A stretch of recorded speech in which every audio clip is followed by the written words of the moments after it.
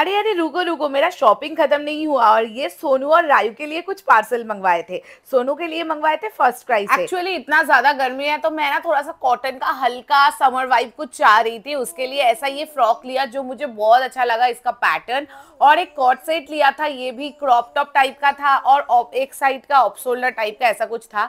अब रायु के लिए हॉपस्कॉच से एक बूथ में मंगवाई थी, इतना सुंदर मुझे लगा, मैं क्या ही बोलूँ।